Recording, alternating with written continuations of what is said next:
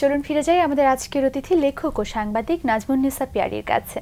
আবারও চলে এলাম আড্ডার শুরুতেই বর্তমান ব্যস্ততা নিয়ে একটু জানতে চাই। কেমন চলছে সব কিছু ভালোই দেশে এলে তো ভালো লাগে। আমরা যারা দূরে থাকি বিদেশে থাকি দেশ থেকে অনেক দূরে সেখানে আসলে আমরা নিজেদের হৃদয়ে ধারণ করি বাংলাদেশকেই। নিজের দেশের কথা ধরেন আমাদের বাংলা ভাষা শব্দ গান তারপরে আমাদের বিভিন্ন পালা পার্বণগুলো যেমন পয়লা বৈশাখ তার বসন্ত উৎসব এসবই আমরা কিন্তু করি নিজের মতো করে করি তখন দেশটাকেই কাছে পাই। মানে নিজের সংস্কৃতিটাকে নিয়ে আমরা বাস করি মনে হয় একটা দ্বীপের মতো বা একটা জাহাজের মতো। সেই জাহাজে যখন আমাদের সংস্কৃতিগুলো এসে দোলা দেয় আমরা আমরা দুলে উঠি ভেতরে অন্তরে। আন্দোলিত হয়ে ওঠার আসে। কবে এসছেন? এবারে দেশে কখন আসা হলো? এবার এসছি বইমেলার সময় এসছি। আচ্ছা আচ্ছা। বইমেলাটা মনে হয় যে বরাবরই টানে। হ্যাঁ। সবকিছু ছেড়ে তখন মনে হয় যে আসতেই হয়। সেই বসন্তের দিনগুলো বইমেলাতেই ভরে থাকে আর সেই বসন্ত ফুরিয়ে যায় তখন সেই রোদন ভরা বসন্ত আমরা যেন বসন্ত শেষ করতে করতেই বইমেলা থেকে বেরিয়ে আসি। নতুন কোনো বই কি আমরা এবার বইমেলা পেয়েছি? কথা ছিল ব্যস্ততা ছিল অন্যরকম কিছু যে কারণে শেষ করতে পারিনি। তবে বইমেলাতে এবার লিটল ম্যাগাজিন থেকে আমার উপর একটা আমার সাহিত্যকর্মের উপর একটা সংখ্যা করেছে। অমিত জি? হ্যাঁ। আপনাকে নিয়ে একটা সংখ্যা হয়েছে। কি কি আছে সেখানে?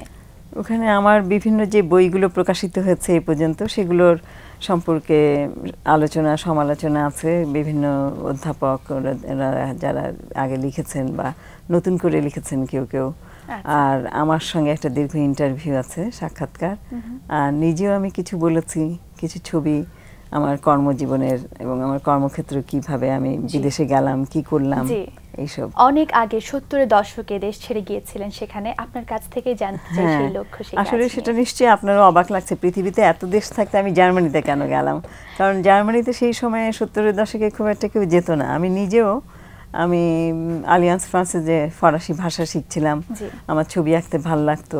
আচ্ছা। তো যেহেতু আমার বাবা চেয়েছিলেন যে আমি বিজ্ঞান বিষয়ে পড়াশোনা করি তো বিজ্ঞানের উপরেই পড়াশোনা করেছি। তারপরে আমি আলিয়ান্স ফ্রান্সে যে ফ্রান্স শিখছিলাম পাশাপাশি ছবি আঁকার আচ্ছা। ছবি আঁকার টেকনিকগুলো শিখেছি আমি।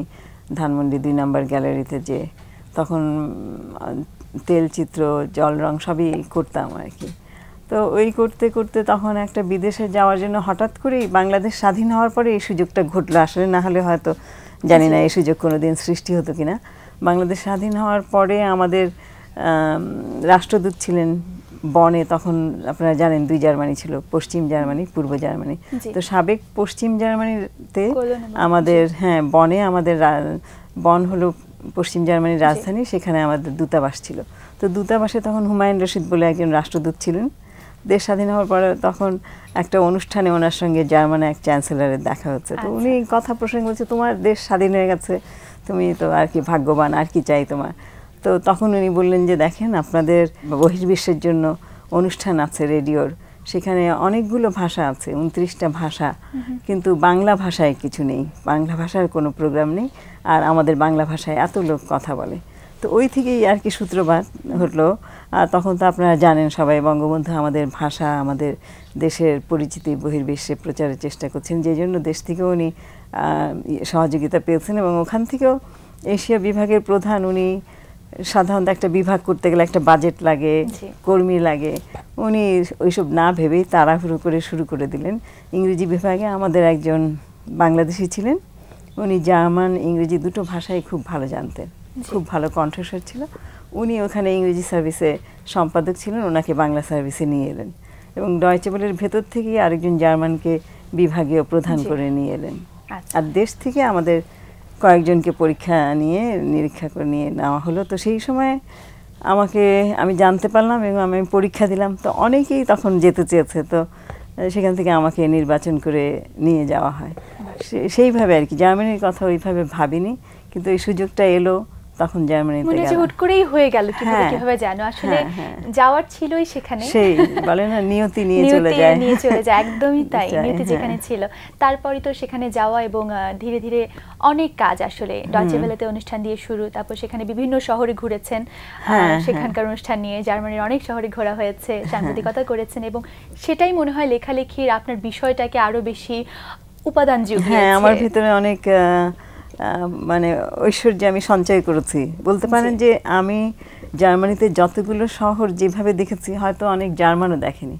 এটার কারণ আছে কারণ আমি বাংলা বিভাগে তিন বছর কাজের পরে আমি পাশ- ইংরেজি সার্ভিসে কাজ করতাম। এবং জার্মান বিভাগে একটা প্রোগ্রাম ছিল যেটার নাম হলো স্টার্ট বুমেল স্টার্ট হলো সিটি বুমেল মানে ঘোড়া মানে নগর পরিক্রমা। হ্যাঁ।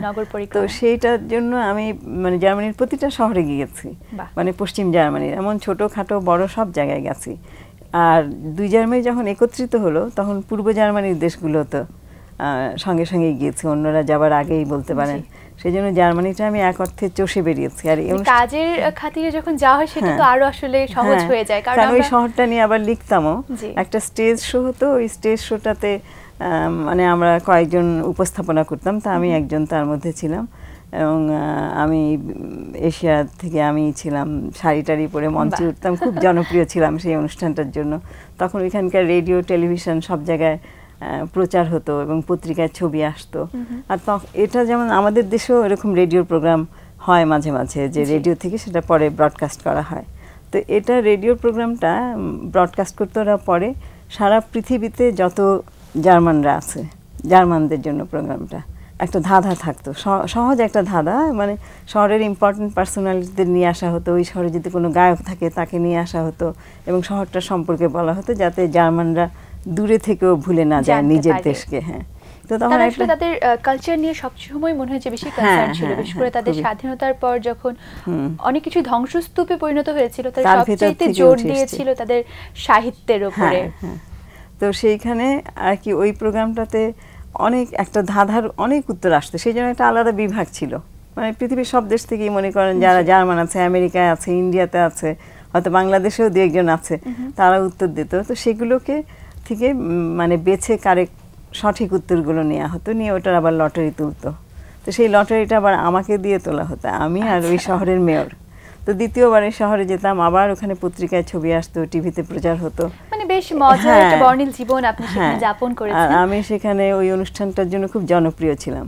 যে কারণে পরে যখন ওদের পাবলিক রিলেশন মার্কেটিং ডিপার্টমেন্টে একটা পদ খালি হয়েছিল সম্পাদকের তা আমি আবেদন করার পর আমি চাকরিটা পেয়েছিলাম আর কি। আচ্ছা। আর সম্ভবত আমি প্রথম বিদেশি যে একেবারে কেন্দ্রীয় বিভাগে সম্পাদক হিসাবে ওদের সঙ্গে কাজ করেছি। খুব আনন্দ পেয়েছি আমি জার্মানদের সঙ্গে কাজ করে। স্বাভাবিক। আমরাও আসলে আনন্দিত যে একজন বাংলাদেশি হিসেবে সেখানে আপনি এরকম সম্মানের জায়গা আপনি দখল করে নিয়েছিলেন সেই সময় এবং এখনও সেটাই আছে। একটু লেখালেখি প্রসঙ্গে আবারও চলে আসতে চাই। কোন ধরনের লেখা আপনার লিখতে বেশ ভালো লাগে? কি ধরনের লেখা আপনি লেখেন? সেটা একটু শুরুতে শুনি। কবিতা পেয়েছি আমরা অনুবাদ পেয়েছি অন্যান্য লেখাও পেয়েছি।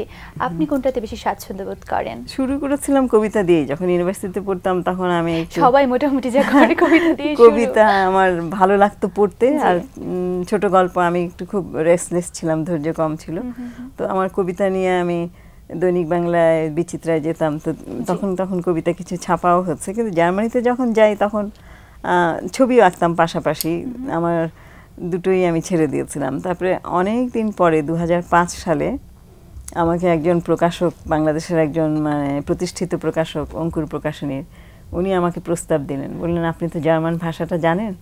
আপনি সরাসরি জার্মান থেকে অনুবাদ করেন না কেন? তারপরে উনি কপিরাইট কিনলেন একটা পিয়ানো টিচার ওই বইটার লেখিকা নোবেল পুরস্কার পেয়েছিলেন তার আগের বছর। তো সে তখন আমি ওই কাজটা দিয়ে শুরু করলাম।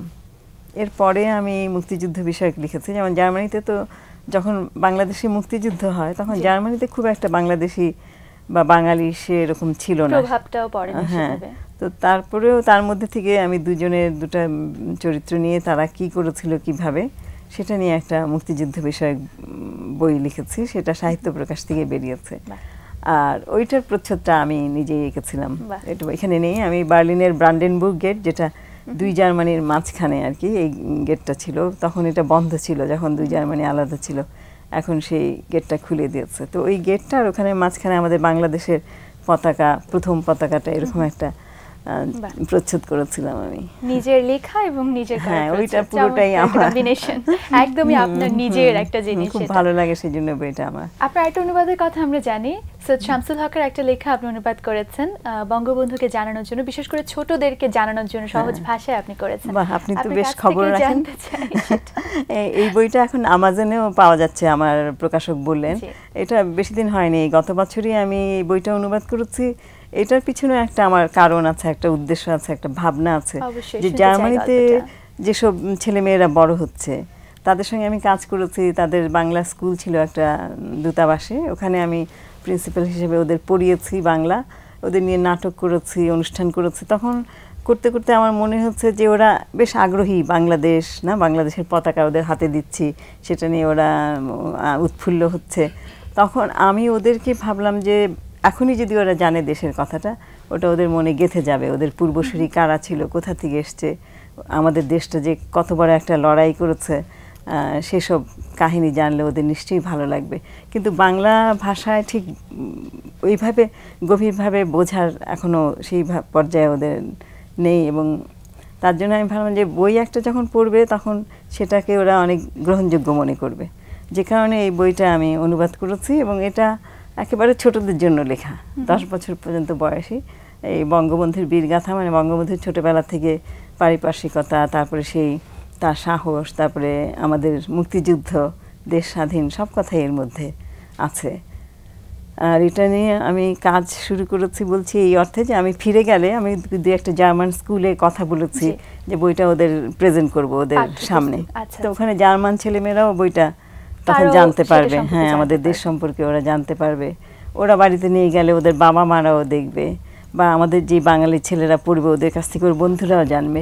এভাবেই মানে সহজভাবেই যাতে জিনিসটা ওদের ভেতরে প্রবেশ করে। বেশ চমৎকার একটা চিন্তা নিয়ে আসলে এগিয়েছে। হ্যাঁ। আর সেখানে তো বাচ্চারা মনে হয় জার্মান ভাষাতেই পড়ছে এবং সেকেন্ড ল্যাঙ্গুয়েজ ইংরেজি, ইংরেজিতে হ্যাঁ, পড়ছে। হ্যাঁ। সো বাংলাটা আসলে সেভাবে কিন্তু তাদের দৈনন্দিন জীবনে আসলে কঠিন। হ্যাঁ রপ্ত করা যদিও একটু কঠিন। বাচ্চারা বলে দুটো তিনটা ভাষা একসঙ্গে শিখতে পারে কিন্তু তারপরেও তো ওদের আরও কত কিছু থাকে স্পোর্টস সেটা সেটা অনেক। কিছুই। এখন তো অনেক বাঙালি বাংলাদেশেই থাকেন সেখানে। একটু জানতে চাইব আপনারা কীভাবে বলছিলেন শুরুতেই দেশটাকে অনেক মিস করেন।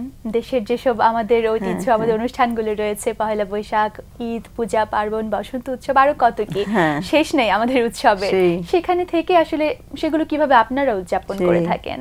আপনার কথার সাথে সাথে অনেক দ্রুত অনেক পেছনে এর কথা মনে পড়ছে আমার। আমি যখন প্রথম দিকে যখন গেছি জার্মানিতে তখন উনিশশো আশির দশকে প্রথম দিকে একুশে ফেব্রুয়ারি অনুষ্ঠান করেছিলাম আমরা বাংলাদেশ জার্মান বাংলাদেশ অ্যাসোসিয়েশন থেকে।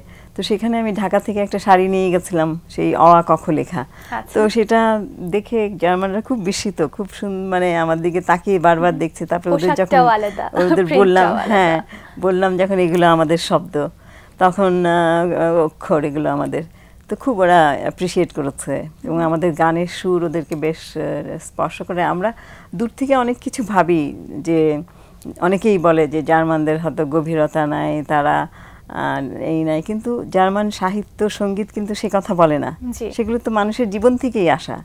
জার্মানদের সঙ্গে মিশতে মিশতে আমি দেখেছি যে ওদের ভেতরে অনেক- ওরা আবেগ আছে গভীরতা আছে সততা আছে। সাহিত্যের জায়গা থেকে যদি একটু তুলনা করতে বলি আপনি তো এই দেশটাও দেখেছেন সে দেশটাও দেখছেন দীর্ঘদিন ধরে।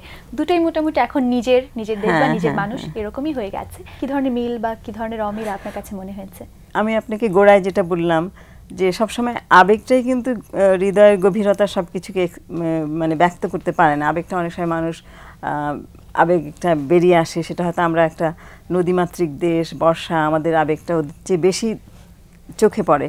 কিন্তু ওদের আবেগটা ভেতরে আছে সেটাও উপলব্ধি করা যায়। একদম প্রথম দিনেই হয়তো আপনি বুঝবেন না কিন্তু ধীরে ধীরে ওদের মিশলে ওদেরকে জানলে তখন বুঝতে পারবেন।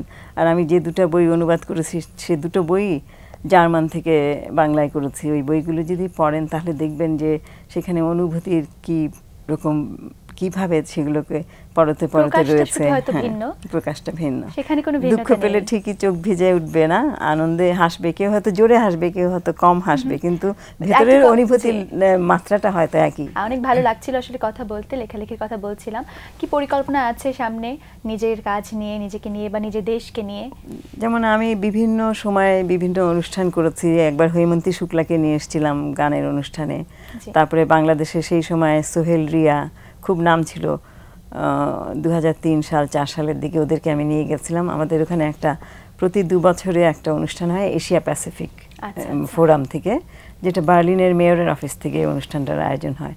তো সেখানে আমি ওদের অনুষ্ঠান মেয়রের অফিসের বিশাল হলে করেছিলাম খুব প্রশংসা পেয়েছিল। তারপরে বাংলাদেশের একদম বাউল কাঁচা বাউল যাদেরকে কোনো পরিচিতি নেই গ্রাম থেকে সেরকম দু তিনজন বাউলকে নিয়ে আমি গানের অনুষ্ঠান করেছিলাম। সেটা নিয়ে খুব হুল্লোড় পড়েছিল।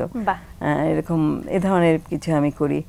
এখন মনে মনে একটা বড় কিছু করার পরিকল্পনা আছে জানি না। আমার সেরকম ধরনের একটা অনুষ্ঠান করতে গেলে স্পন্সর লাগবে। সেই সব নিয়ে ভাবছি। যাতে সবকিছু সার্বিকভাবে ঠিকঠাক হ্যাঁ। হয় সে আশা আমাদের থাকবে। অনেক অনেক শুভকামনা থাকবে এবং আবারও অনেক অনেক ধন্যবাদ আমাদেরকে আজকে সময় দেওয়ার জন্য। ধন্যবাদ আপনাকেও এবং আপনাদের কলাকুশলীকে আর আমার দর্শক শ্রোতাদের জানাচ্ছি অনেক শুভেচ্ছা আর ভালোবাসা। ভালো থাকবেন। দর্শক, কথা হচ্ছিল অতিথির সঙ্গে। এবার সময় হলো বিদায় নেবার। আমাদের অনুষ্ঠান সম্পর্কে আপনার যে কোনো মতামত পরামর্শ জানাতে আমাদের কাছে লিখুন এই ঠিকানায়। প্রযোজক দিন প্রতিদিন বাংলা ভিশন নোট টাওয়ার, একশো দশ বীর উত্তম সিআর দত্ত রোড, ঢাকা এক দুই শূন্য পাঁচ। ফোন নয় ছয় তিন দুই শূন্য তিন শূন্য থেকে চার। আমাদের ইমেল অ্যাড্রেস দিন প্রতিদিন অ্যাট বাংলাভিশন ডট টিভি রুশ লেখক ম্যাক্সিম গোর্কের একটি উক্তি বলে বিদায় নেব আজ। তিনি বলেছেন, একজন ভালো মানুষ নির্বোধ হতে পারেন, কিন্তু একজন খারাপ মানুষের অবশ্যই মগজ থাকতে হবে। প্রিয় দর্শক, সবাই ভালো থাকুন, সুস্থ সুন্দর থাকুন। দেখা হচ্ছে আগামী দিন সেই পর্যন্ত। আমাদের সঙ্গে থাকুন, ভালো থাকুন।